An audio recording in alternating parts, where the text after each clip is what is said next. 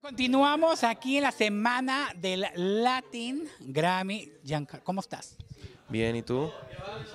Estamos bien porque estamos divirtiéndonos, estamos conociendo a la gente, a todos los latinos unidos en esta semana.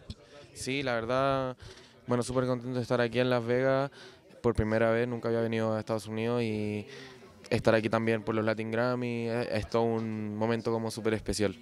Súper especial porque pues este también ha sur- surgido mucho y eh, las redes sociales. Las re- redes sociales es tan importante hoy en día.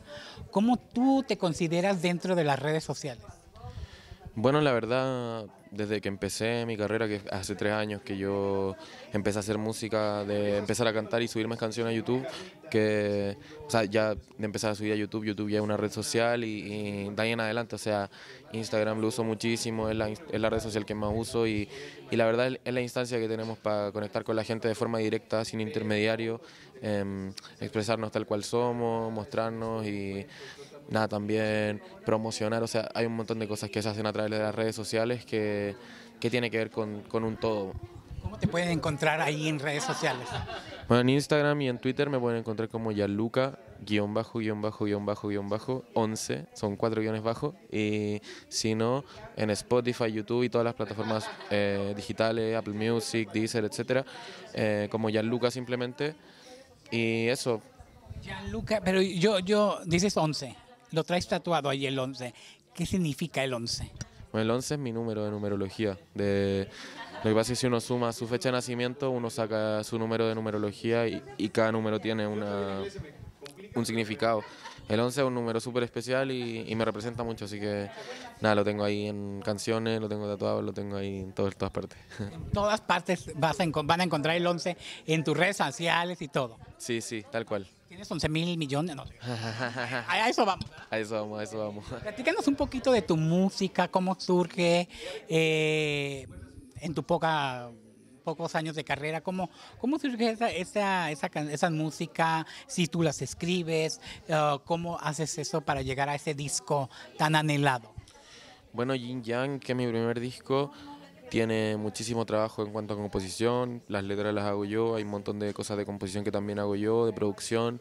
La producción ejecutiva la hicimos con un productor chileno que se llama Pablo Stipicic, que él trabaja, pasa que yo vengo de algo más urbano, que trae reggaetón, y Pablo viene de algo mucho más alternativo, viene de mezclar y de trabajar con bandas chilenas, y él es un productor muy, muy reconocido allá. Entonces como que juntarnos a los dos sale Yin Yang, sale un disco que, que tiene mucho urbano, pero también tiene mucho de banda, de guitarra, de batería, de como que hay una, una vibra y una aura súper única y, y como, no sé, yo siento que es como un, un broche tipo muy Gianluca el disco.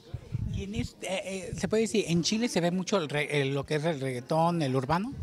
Sí, la escena de música urbana en Chile está durísima. O sea, en, el tema en Chile bacano es que hay muchos matices. O sea, uno puede encontrar desde reggaetón con Tommy Boysen o Paloma Mami, o uno puede el trap más duro que es Pablo Chile, o más pop, Princesa Alba, más trap chileno como CAS, Drefkila, John Sister, Polima West Coast. Yo soy como lo más alternativo de la escena, porque como lo que te decía, que, que juego con más cosas fuera del urbano y como que mi código está dentro del urbano, pero también está en todo. Entonces, como que en Chile se, se ve mucho eso y la escena está súper potente en todo el país. Ahora mismo creo que este es el momento donde va a empezar la internacionalización más dura. O sea, ya Pablo Chile y Paloma Mami son conocidos fuera, pero yo creo que el otro año se viene heavy en general para la escena.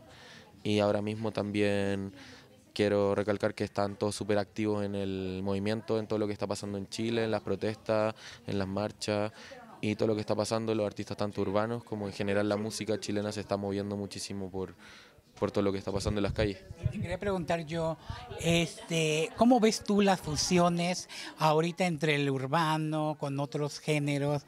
Quizás ahorita ya estamos viendo hasta incluso muchos del regional mexicano haciendo con Bad Bunny, con a otros artistas dentro del urbano.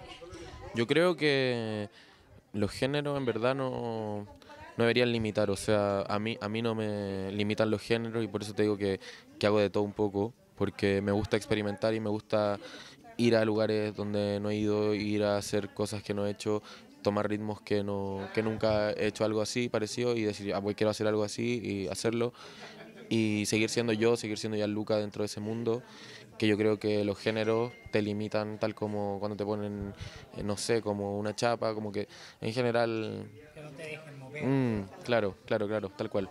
Bueno, pues este, un gusto que te la sigas pasando súper en esta semana de los Latin Grammy 2019 y te deseamos todo lo mejor en tu carrera y proyectos nuevos que quieras a- a anunciar a tu público. Bueno, igualmente muchas gracias por la invitación y ahora mismo de aquí a fin de año por lo menos eh, viene algún, algún Spanish Remix por ahí, pero la verdad voy a estar muy, más activo en la, en la calle, volviendo ya de la gira, porque ahora estamos de gira por Yin Yang, pero ya volviendo quiero estar súper activo en todo lo que está pasando en Chile y lanzamientos de música nueva 2020 ya viene con todo. Más fuerte que nunca. Sí, más fuerte que nunca. Gracias. Entonces, yo me despido desde la semana de los Latin Grammys aquí en Las Vegas. Yo soy Shai Gutiérrez para los botijones de la farándula. Muy bien. No se te olvide suscribirte al canal y por supuesto compartirlo con tus amigos en tus redes sociales. Y síguenos a través de La Remix TV. No se te olvide compartirlo. Somos La Remix TV.